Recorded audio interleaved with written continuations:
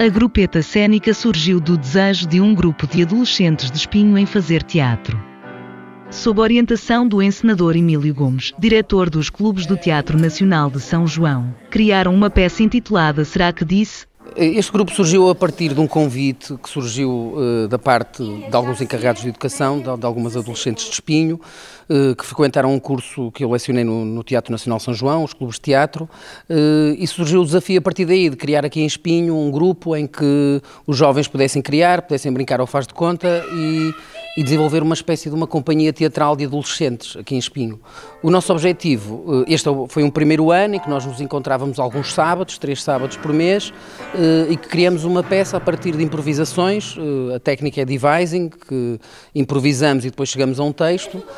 E o nosso objetivo agora, hoje, é mostrar aqui ao público espinhense e e também eh, divulgar para os jovens, para os adolescentes aqui de Espinho, para, para esta grupeta continuar a crescer e para termos mais elementos e, e este ser apenas um ano zero eh, do que será esta grupeta cénica. Aqui? Sim, ontem aqui e esta hora.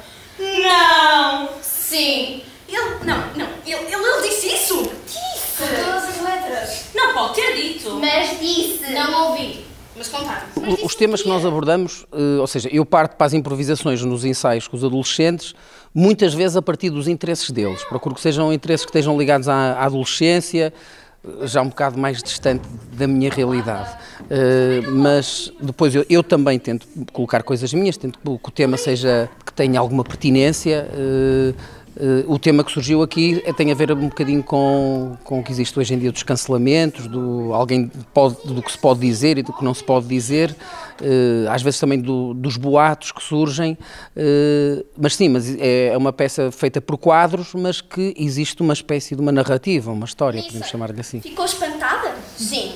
Indignada? Muito. Horrificada? Isso também. Não, não.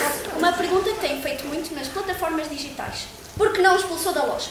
Era mesmo isso que eu ia fazer, a sério, só que não tive tempo. Desculpe, dona Alice, mas tem outra colega. O nosso objetivo será agora, a partir de novembro, tentarmos, uh, estamos abertos a novas inscrições de membros espinhenses, continuar com os membros que temos atualmente. A procura é mesmo expandir, é que termos mais atores, mais jovens atores, uh, e se calhar esta grupeta depois crescer e ter também uma componente técnica, uh, componente de produção.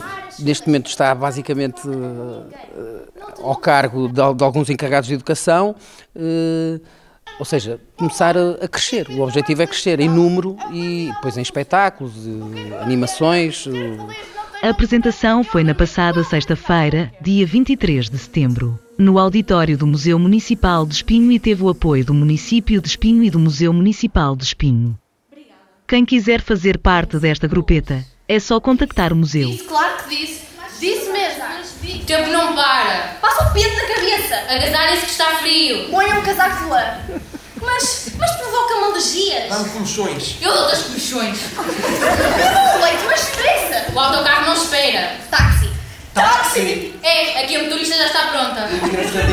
Nem mas nem mais. Atenção às migalhas do chão. É sempre a mesma coisa. O Bobby depois as filhas. E o é que te filhos? Chegas atrasada. Fechem bem. Mas, mas a, a torneira